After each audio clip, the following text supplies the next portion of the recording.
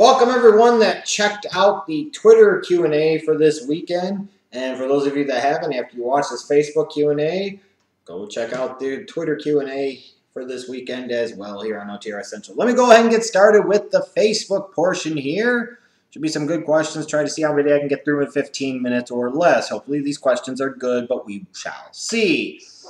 Uh, let's start off with, um, I I haven't pre-screened these Facebook questions, so I'm trying to read through as we go along. Uh, Duke Morris, do you think WWE would have more top stars if the audience booed all the heels and cheered all the faces like we were supposed to do?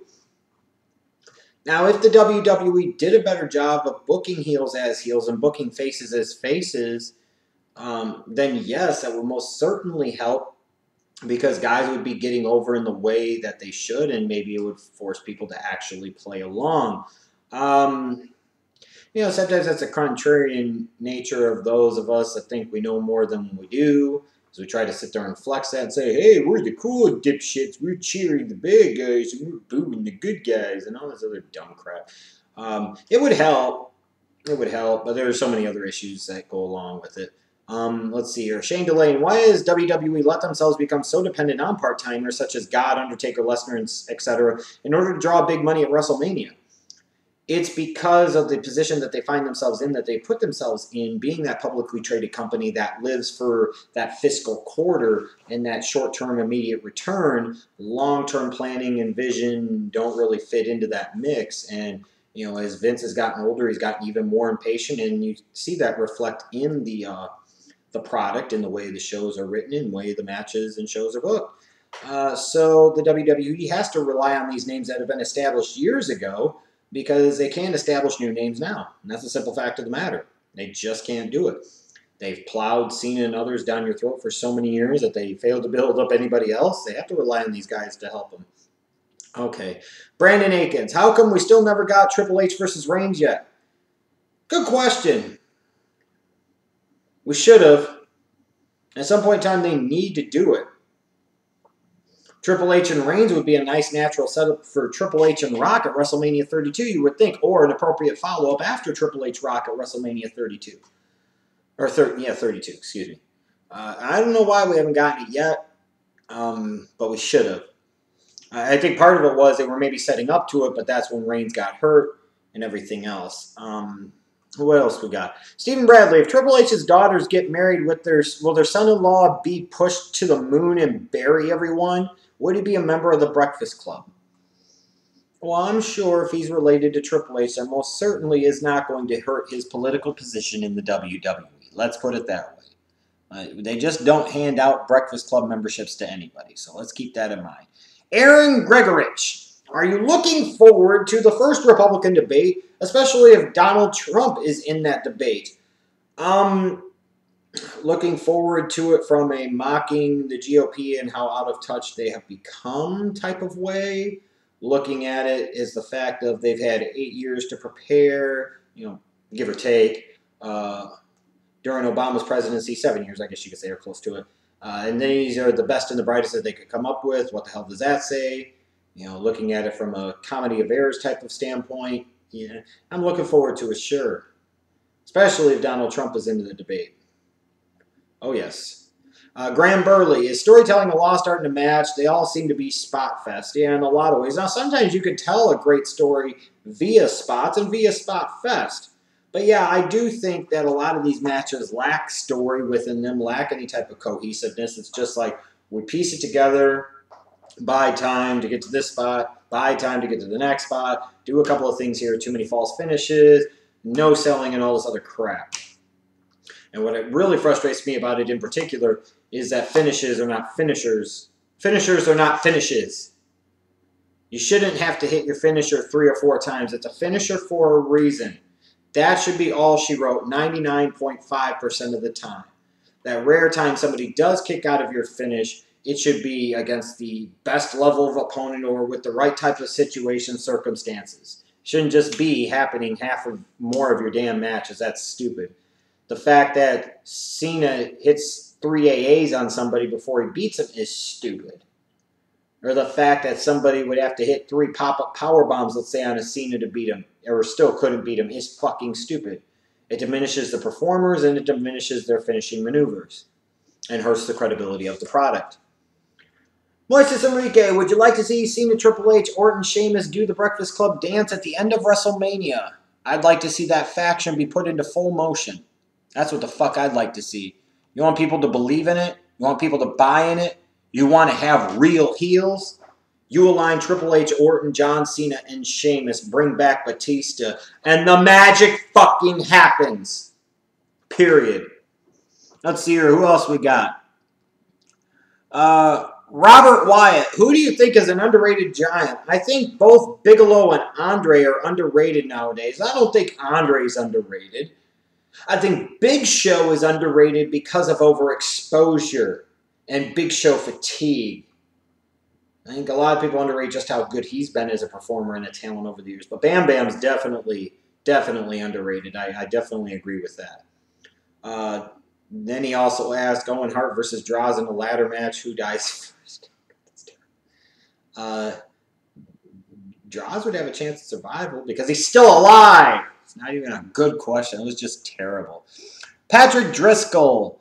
Uh, what were your thoughts on Randy Orton's legend killer gimmick? I mean, it was a hook. It was something that worked for him. I was never huge on Orton for all that time because to me, everything they did with him always felt forced. Like they were just trying to manufacture it, they were trying to cram it instead of allowing him to get over organically.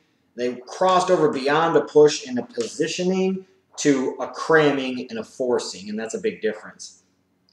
Konstantinos Papakostas. Would you like the idea of the Wyatt family being the authority? No. Uh-uh.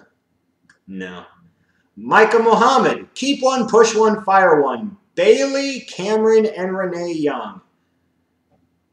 I'll, oh, y'all piss y'all off. I'll keep Cameron for obvious reasons.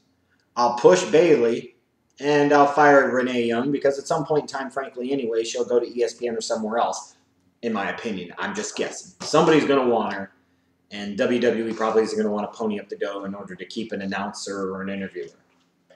So somebody will step up to the plate. ESPN, Fox Sports, NBC Sports. Somebody will probably step up and pay her big, and she'd be a fool not to take it. Uh, Pietro Cervale. So that would be why I would fire Renee Young. It would be no, nothing personal. It would be more so she'll probably be gone soon enough, anyways. Might as well just hurry it up and move on and get it over with. Uh, he asked a couple questions. First, do you think Stone Cold Steve Austin will wrestle at WrestleMania 32 in Texas? I do. I do. I really, really do. And frankly, as long as he can get medically cleared and he doesn't think Lesnar suplexes will break his fucking neck, you know, he's going to get a monster payday what type of performer or legend would you be if you didn't want to perform in front of 105, 110 or more thousand people in, at that uh, AT&T Stadium? The hell type of legend are you? Yeah, I think he wants to. Uh, he also asked, name your top NBA starting five of all time. I don't know if you're talking about a team starting five or just like, you know, if I had to name one small forward, power forward, center, point guard, shooting guard. Um, so if that is the case, I will go on that. Obviously, the two guard would be Michael Jeffrey Jordan. Uh, the three would have to be Scottie Pippen. Because I'm not just trying to put together the five best players of all time, let's say. I've got to have the five players that I think could also fit well together and play well together. At the power forward, I'd probably have to go with. I hate to leave Larry Legend off the list but I've got to go with maybe Tim Duncan. In terms of at the five, I've got to go with, and this is maybe personal preference. And again, like I said, in part I'm trying to build this as a as a team type of situation. Uh, at the five, Hakeem Olajuwon would have to be that guy, perhaps. Um, I mean, there's a lot of centers you could choose from, obviously. In terms of point guards, man, you could go Magic, you could go Stockton, you could honestly go Jason Kidd, you could go a lot of different directions. Um,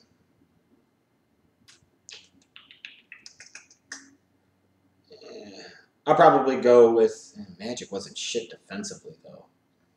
Um, I probably go with Jason Kidd again, trying to build a team Not just, you know, if I was saying greatest point guard of all time, Magic Johnson. So there you go.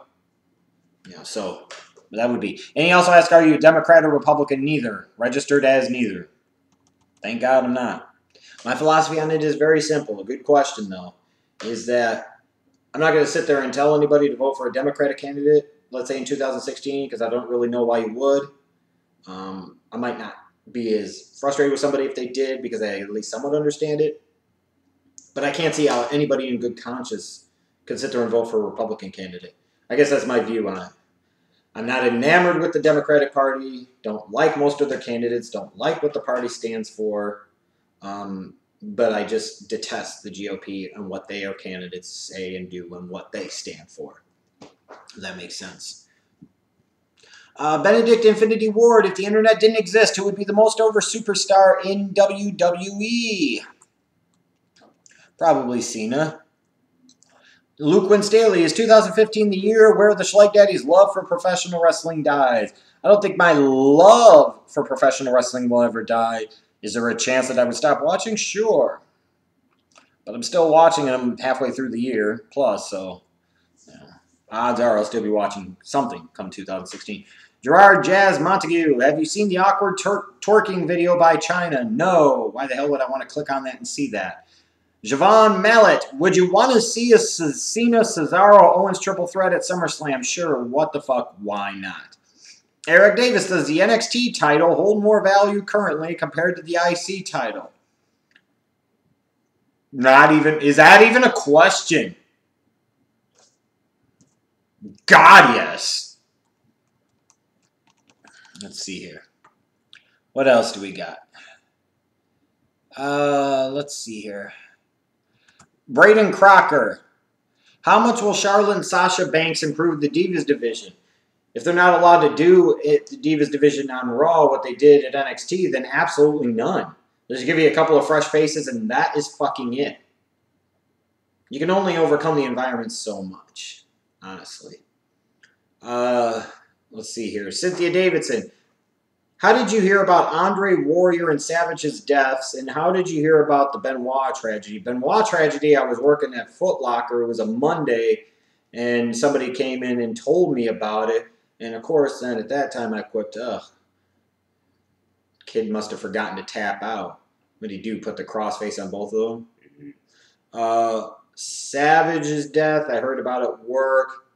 Warrior's death, I heard about at work. Andre's death, I heard from somebody at school.